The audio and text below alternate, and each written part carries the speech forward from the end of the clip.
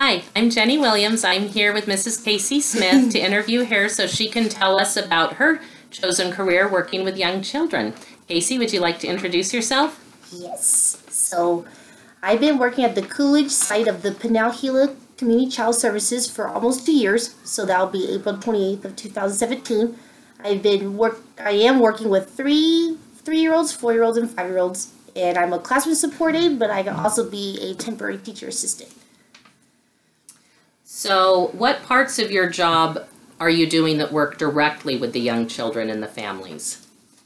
So we would uh, communicate with our parents every single day. Like we would give them forms or papers of what's going on with certain events. So like tomorrow we have like picture day, so we'll just tell them what what day it is and what time is picture day. And like the end of the year school program, we'll tell them what songs that we're going to do, and then they can watch their kids before they take them home, see what kind of dances that they're doing. How fun. And what kind of education is required for your job?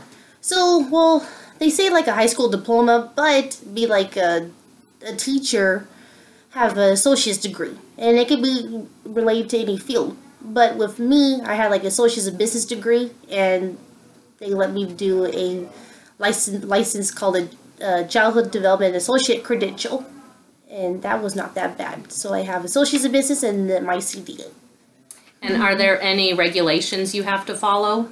We had to follow the Arizona Department of Health and Human Services. And so, if you had some advice, what kind of attributes would you say people that are choosing to go into early childhood should possess? Mm.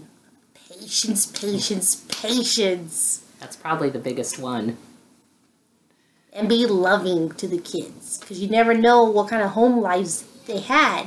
And we also have this social emotional curriculum called conscious discipline. And we've been trained for years of how we're supposed to try to be synthetic to children and their families. And then we also have TSG, which is Teaching Strategies GOLD, and that's their educational curriculum. So those sound like they're all really good to know to help the kids. Yes. Um, do you have anything else you'd like to add about your career? Mm, so far, I just love it. I can't wait to see how long I can work there more. And one of my favorite things is I would see my former kids coming back, and then I'll be like, "Hi," and then like they'll come back to me. so that's my favorite. Do you see yourself still working there in five years? Yes, I can still see myself working there in five years. That's great. Thank you so much for your time today, Casey. I really appreciate you taking time out of your busy schedule to meet with me. Thank you. Bye. Bye.